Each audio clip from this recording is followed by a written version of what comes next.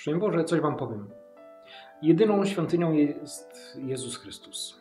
My jesteśmy jedynie bocznymi kaplicami, w których prowadzimy swoje interesy. Czasem pobożne, a czasem takie rodem z. Tylko w Jezusie jest pełnia wszystkiego: miłości, łaski, błogosławieństwa i świętości. Będąc przy Nim, nabieramy tego samego blasku, tego samego zapachu, tego samego rytmu i tego samego spojrzenia na rzeczywistość. A mimo wszystko coś ją nam przysłania wcale nie jest to dym kadzidła, który unosi się ku wzniosłym sprawom, a jedynie kopcenie jak z palonej sterty śmieci, z których dym gryzie nas w oczy i gardło. Przez to mamy ograniczone widzenie, a głos nasz jest pozbawiony wdzięku. Mamy trwać na modlitwie, bo jak twierdzi Soren Kierkegaard, modlitwa nie zmienia postanowień Boga, ale zmienia tego, kto się modli. Więc mamy się zmieniać nie własnym chceniem, ale i może czasem przy pomocy bicza i gniewu Bożego. Bo czyż nie jest tak, że jak się mówi do dziecka, a ono nie słucha, to trzeba podnieść głos, by zareagowało, że właśnie do niego się zwraca? Bo jest zbyt zajęte sobą, że zapomina o tym Bożym świecie? Nie różnimy się od dzieci.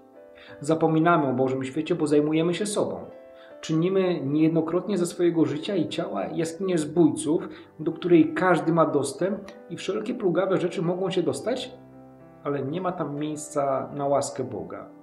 Ona zwyczajnie nie pasuje do wystroju naszego wnętrza.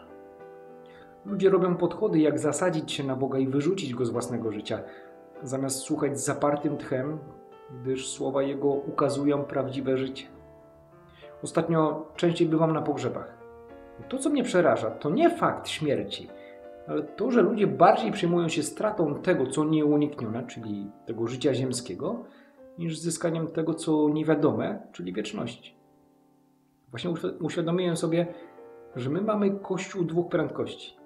Pierwszy to ten, który szuka wzniosłych rzeczy, dobrego słowa i pięknej liturgii dla własnego uświęcenia a drugi to ten, który przychodzi wypełnić obowiązek, zmuszając swoje ciało do pojawienia się w świątyni.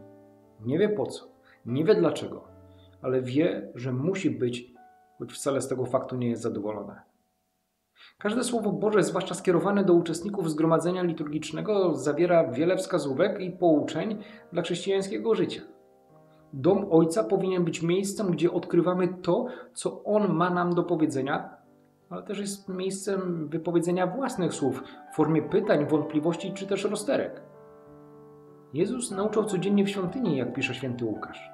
I trwa to do dnia dzisiejszego. On ciągle jest tu obecny, choć mam tam wiele rozproszeń, bo dzieci płaczą, ktoś fałszuje, ktoś kaszle i chrząka, albo zbyt głośno modli się różańcem. On jest obecny właśnie w tym całym zgiełku dla każdego z nas i mówi do naszego serca. Aby jednak otworzyć się i przyjąć w całej pełni naukę Jezusa, potrzeba oczyszczenia serca, umysłu, mentalności.